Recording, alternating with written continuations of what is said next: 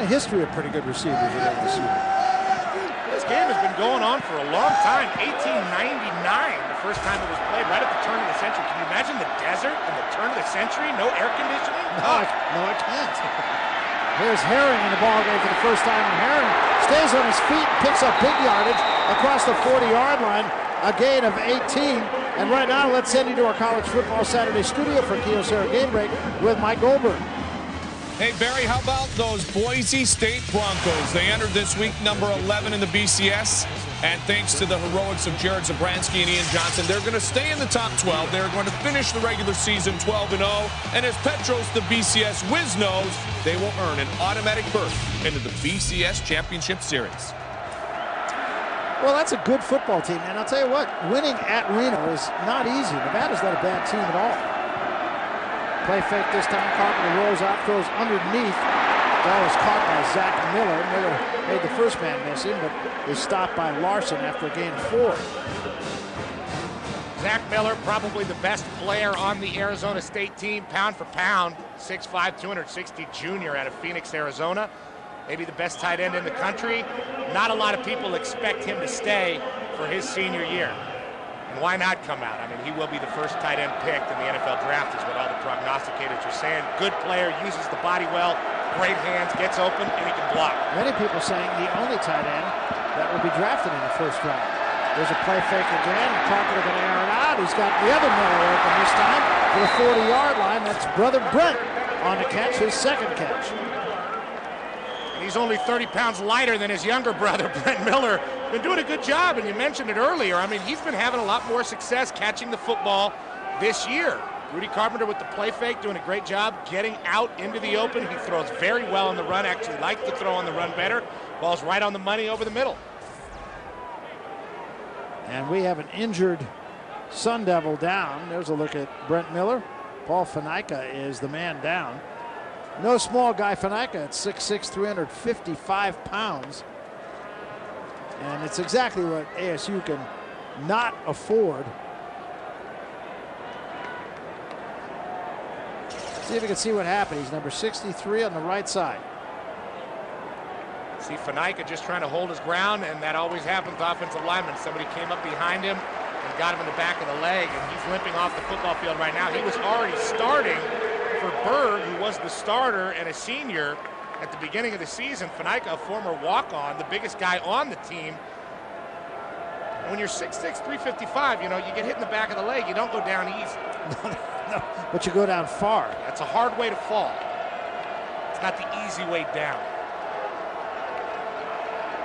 Did Goldberg in the studio say that I was a BCS whiz, by the way? I think he did, yes. There's Berg and Carnahan. Isn't Just because I'm on the BCS show doesn't make me a BCS whiz. BCS whiz is something you serve before dinner, isn't it? First down at the 40-yard line. And Carpenter checking off.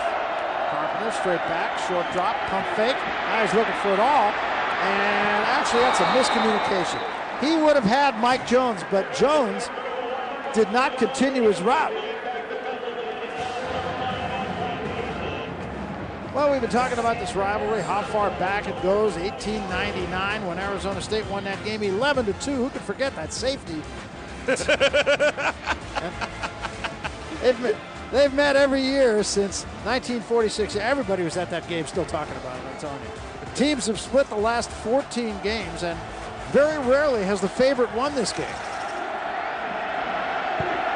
Arizona slight favorite today. They trail right now. Here's Herring gets about three. Ronnie Palmer on the stop for the Wildcats. Well, A-State has used all their tailbacks in this football game. DeWitty's been in the game. Torain has been in the game. Usually they like to give him more carries than he's gotten. Herring is their changeup back. He was the starter last year as a true freshman. And we've seen Dimitri Nance. Everybody getting the rock. DeWitty usually in there on passing situations, which of course this is. Third down and eight.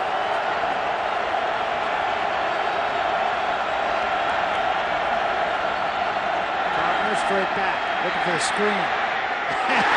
That's the way you break up a screen. that was Spencer Larsen. And DeWitty, I think, is still looking for parts of his equipment. Well, it's hard to think that Mike and Mark Stoops would not be in love with Spencer Larsen, their weak side linebacker. This guy just flies all over the field, and he's a headhunter. Watch him leave his feet and just commit to making this play and finishing the play, driving DeWitty into the turf. And now there's some confusion for Arizona getting out on the football field on the punt. Beautiful in slow motion. Yeah, they're going to have to call a timeout. He's he's been all over the field already today. And it's going to, incidentally, Carpenter is the man who is in punt formation. Now, he is a punter, and it's possible that he will punt, but it's something to point out when your quarterback goes into punt formation. And that may be why Arizona had to call this timeout, as a matter of fact. Well, during every Pac-10 head-to-head matchup on FSN this year, a Pontiac Pac-10 game-changing performance was selected. Pontiac awarded the school $1,000 to its general scholarship fund. Now, here's your chance to vote for the Pontiac Pac-10 game-changing performance of the year, where Pontiac will award $10,000 to the winning school's general scholarship fund. All you have to do is go to pac-10.org to vote and vote for your chance to win a pair of season tickets to your favorite Pac-10 football team. That's pac-10.org to vote now through December 2nd. Tough choice, favorite Pac-10 football team. Well, we've had some good ones. What about Matt Moore versus USC? Came up big. Marshawn Lynch, Cal versus Washington. Now they're going to go on fourth down. They're not even going to put Carpenter in punt formation. It's fourth down and about eight. Carpenter straight back, going for it all. He's got a man out there. The ball's caught for a touchdown. And the receiver was Jamal Lewis.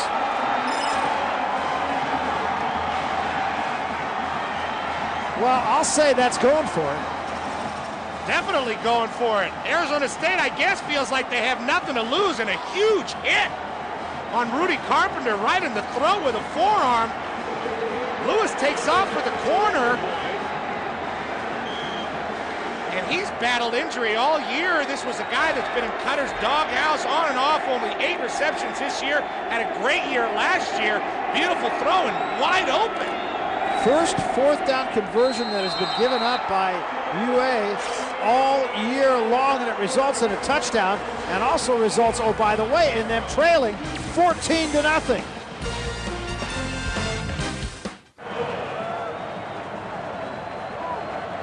We welcome you back. Here is the kickoff by Ainsworth. He drives this one towards Steptoe, but he's about seven yards deep and will not come out with it. Let's look back on that touchdown and ask the question, what happened? I'm not sure. Here's Jamal Lewis. Nobody's on him. This safety has responsibility for him, and he's just going to run to the corner and do his thing. Nobody challenges the route.